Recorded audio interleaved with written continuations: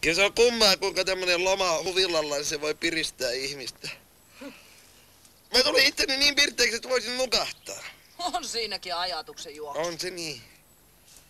Kuule se on varmasti tämä, tämä ilmastointivaihtos, joka vaikuttaa sillä lailla. Niin mikä se on? No se on kato se, että kun, kun sitä on vaikka päivänkin täällä maaseudun rauhassa ja sitten palaa taas kaupunkiin takaisin, niin sitä on puolisen vuotta ihan puoli kuollut.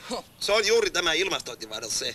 Se ei näköjään sovi minulle ollenkaan. No se on kumma, että se sulla pelaa kahteen suuntaan. Väsyttäähän sua täällä. Eikä päinvastoin. Täällä mä tunnen itteni niin virkeiksi.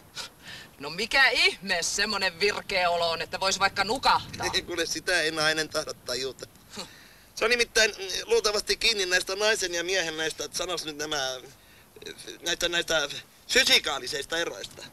Katos, nainen nukkuu silloin kun se voi, ja mies nukkuu silloin kun sitä nukuttaa. Se on jämtti näin.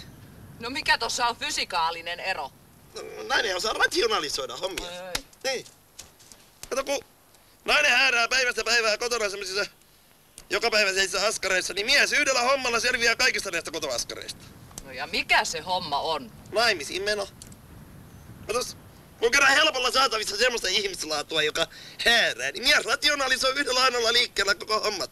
Se selviää näistä kotoaskareista. Se menee naimisiin.